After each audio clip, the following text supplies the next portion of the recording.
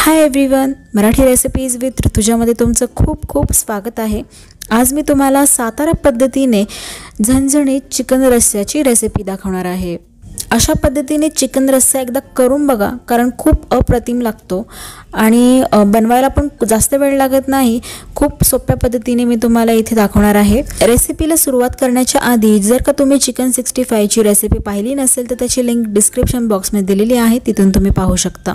झणझणीत चिकन रस्सा बनवण्यासाठी मी इथे अर्धा किलो चिकन घेतलेले आहे. चिकन स्वच्छ धुवून आपल्याला पाणी निथळून घ्यायचं आहे. त्याच्यानंतर चिकन मॅरिनेट करायला ठेवूया. त्यासाठी मी इथे एक चमचा मीठ टाकलेला आहे आणि अर्धा ते पाऊण चमचा हळद पावडर टाकायची आहे. हे दोन्ही पण आपण चिकनच्या पीसेसना व्यवस्थित लावून घेऊया चोळून घेऊयात. आणि पुढची प्रोसेस होईपर्यंत हे चिकन असंच मॅरिनेट करत ठेवूयात. त्यानंतर इथे मी एक गॅसवरती पातेलं ठेवलेलं आहे. पातेल्यामध्ये आपल्याला दोन चमचे तेल टाकायचं आहे. दोन चमच्यामध्ये आपण एक मोठा साईजचा कांदा बारीक चिरून टाकायचा आहे.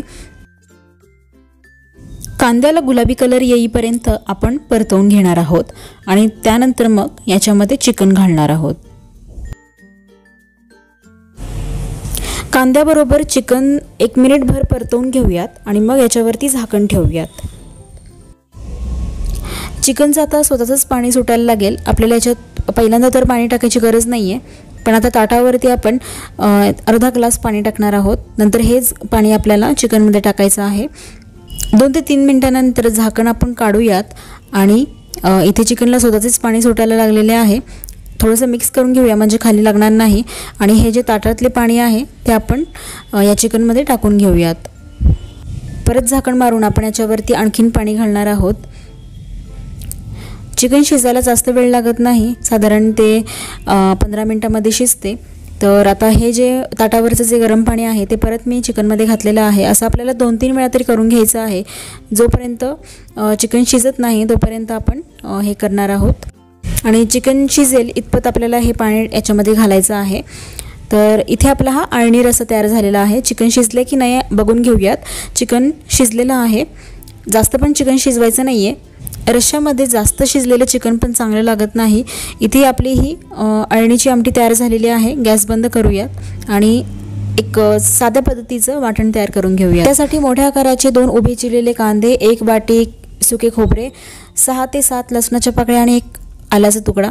इथे गॅसवर मी तवा ठेवलेला आहे. तव्यामध्ये आपण एक चमचा तेल टाकणार आहोत.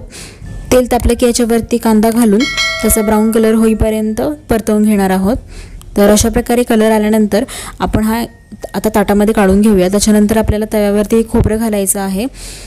हे भाजताना आपल्याला तेलाची गरज नाही आहे तर हे पण ब्राऊन कलर होईपर्यंत भाजून घेणार आहोत आणि प्लेटमध्ये काढून घेणार आहोत. आणि कांदा आणि खोबरे पहिल्यांदा थंड होऊ द्यायचं आहे. आणि त्या त्याच्यानंतर मग आपल्याला हे चारी पण एका मिक्सरमधून वाटून घ्यायचं आहे. आता आपण रस्सा बनवायला घेऊयात. त्यासाठी कढईमध्ये मी चार ते पाच मोठे चमचे तेल घेतलेलं आहे. तेल आपल्याला या रशाला जास्तच वापरावे लागेल.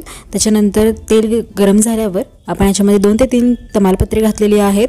त्याच्यानंतर आपल्याला हा मसाला घालायचा जो आपण बारीक वाटून ठेवलेला तो इथे मी सगळा घातलेला आहे. आता आपण हा दोन ते तीन मिनटं तरी परतवून घेणार आहोत. किंवा जोपर्यंत याचा कच्चा वास जात नाही तोपर्यंत आपण हा परतवून घेऊयात.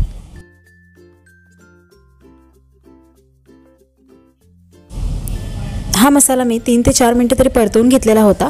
तर आता आपण याच्यामध्ये कांदा लसूण मसाला घालणार आहोत. तर इथे मी तीन मोठे चमचे कांदा लसूण मसाला वापरणार आहे. तुमच्याकडे जर कांदा लसूण मसाला नसेल तर तुम्ही घरातली जी तिखट पावडर असते म्हणजे तिखट मिरची पावडर तर ती टाकली तरीही चालेल. पण त्याच्याबरोबर तुम्हाला गरम मसालाही टाकायला हवा. आपण इथे फक्त कांदा लसूण मसाल्याचाच वापर करणार आहोत. आणि हा मसाला पण मी दोन ते तीन मिनटं परतवून घेते आता.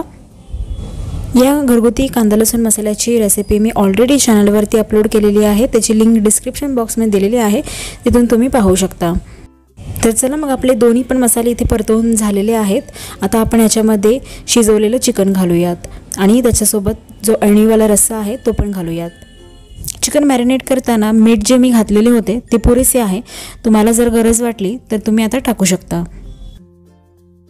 आता हा रस्सा आपल्याला जेवढा वाढवायचा आहे तेवढा आपण याच्यामध्ये गरम पाणी घालूयात. जास्त पातळ किंवा जास्त घट्टही ठेवू नका. शक्यतो मीडियम कन्सिस्टन्सीचा हवा आणि पाणी घालताना नेहमी गरम पाणीच घाला. मला जेवढं पाण्याची गरज आहे तेवढं मी पाणी घालून घेतलेले आहे. आता आपण याला एक उकळी देऊ देऊया. तर झाकण ठेवलेलं आहे. तर साधारण तीन ते चार मिनटं झाली आहे. आमटीला उकळी येत झालेली आहे. आणि इथे आपली ही झणझणीत चिकन रश्श्याची आमटी तयार झालेली आहे. पण याचा एक फ्लेवर वाढवण्यासाठी आपण बारीक चिरलेली कोथिंबीर घालूयात. तर आहे ना एकदम सोपी पद्धत सातारी गावरान चिकन रस्सा बनवायची. अगदी टेस्टी असा हा रस्सा होतो तुम्ही याच्यामध्ये भाकरी चुरून खा किंवा गरम गरम भाताबरोबर खा.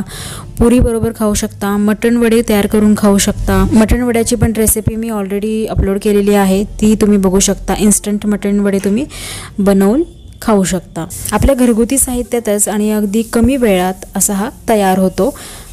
सर्व करताना कांदा तर असायलाच हवा त्यासोबतच लिंबू ठेवलेला आहे आणि टमॅटोचे स्लायसेस तुमचा जर अचानक नॉनव्हेज बनवण्याचा प्लॅन झाला असेल तर अगदी सगळ्यात सोपी चिकन रस्त्याची रेसिपी तुम्ही हे करून बघा. तुम्हाला नक्कीच आवडेल.